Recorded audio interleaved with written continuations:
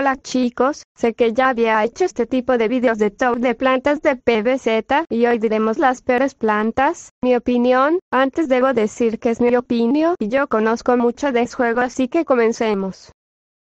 Noctarina, esta planta potencia a las plantas sombrías y está bien pero es la peor su daño no, hablemos que es muy bajo, y potencia muy poco a las plantas sombrías, aparte flor lunar ya hace y aparte RT que produce sol flor lunar potencia a las plantas sombrías permanentemente, aparte cuando la pones a veces te da mucho lag una planta inútil la verdad.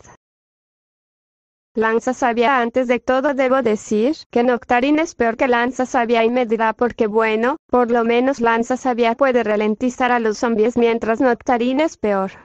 Lanza Sabia crea un charco de sabia, que ralentiza a los zombies pero no hace daño. Pero como dije antes Noctarine es peor que Lanza Sabia las demás las dirá mi asistente. Les iba a preguntar antes de pasar con el señor Guisante XD. Escriban en los comentarios si les gustó los renders y díganme ideas para más caras. Y eso bueno las demás las dirá el señor Guisante XD XD. Hola, mis panas soy Lanzagia perdón XD, soy el señor guisante XD vine facha al trabajo XD bueno sigamos.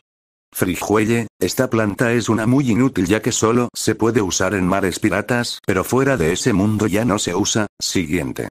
Aloe, esta planta ya saben cura en un millón de años sin duda muy inútil, hasta aquí el vídeo de hoy chicos adiós.